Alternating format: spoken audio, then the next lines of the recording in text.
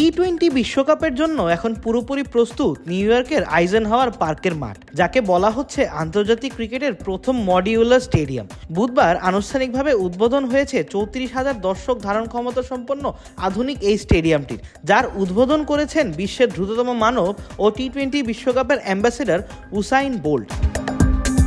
West Indies ও যুক্তরাষ্ট্র বিশ্বকাপের মূল পর্বের আগে কয়েকটি পরীক্ষামূলক ইভেন্টের মধ্য দিয়ে যাবে স্টেডিয়ামগুলো, যা শুরু হচ্ছে জুনের এক তারিখ। প্রস্তুতি ম্যাচে এই মাঠেই সেদিন মুখোমুখি হবে ভারত ও বাংলাদেশ। অর্থাৎ বাংলাদেশের ম্যাচ দিয়েই যাত্রা শুরু হচ্ছে নাসাও কাউন্টি ইন্টারন্যাশনাল ক্রিকেট স্টেডিয়ামে।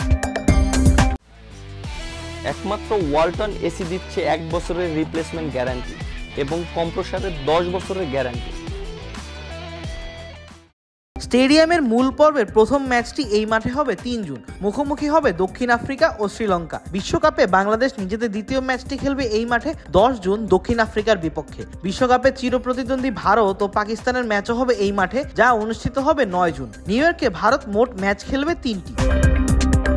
এদিকে বিশ্বকাপ শুরুর বিশ দিন আগে স্টেডিয়ামটির উদ্বোধন হলেও স্টেডিয়ামটিকে সময় মতো তৈরি করা নিয়েছিল শঙ্কা। কারণ জানুয়ারিতে নিউ ইয়র্কের একটি মাঠের ছবি ছড়িয়ে পড়েছিল সামাজিক যোগাযোগ মাধ্যমে। সংবাদকর্মী পিটার ডেলা পেনার তোলা সেই ছবিগুলোতে ছিল শঙ্কার ছাপ।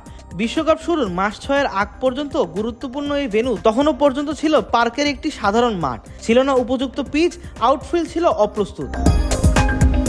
কিন্তু সব শঙ্কা উড়িয়ে Nassau County International Cricket Stadium এখন বিশ্বকাপ আয়োজনের জন্য প্রায় প্রস্তুত। বিশ্বকাপে আইজেন হাওয়ার পার্কের এই প্রজেক্টটি আইসিসির সবচেয়ে উচ্চভিলাষী প্রকল্পের একটি। স্টেডিয়ামটিতে সবচেয়ে চ্যালেঞ্জিং ও গুরুত্বপূর্ণ কাজটি ছিল স্থলভাগ দিয়ে ড্রপ ইন পিচগুলো স্থানান্তর। মোট দশটি পিচ তৈরি করা হয়েছে ফ্লোরিডায়। বুধবার উসেন বোল্টের হাতে উদ্বোধন হয় স্টেডিয়ামটির।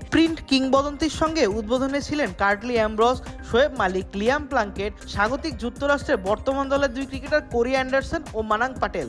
এছাড়া যুক্তরাষ্ট্রের বেশ কয়েকজন বেসবল ও বাস্কেটবল তারকাও ছিলেন এই আয়োজনে। আবিদ মোহাম্মদ, ক্রিক ফ্রেন্সি।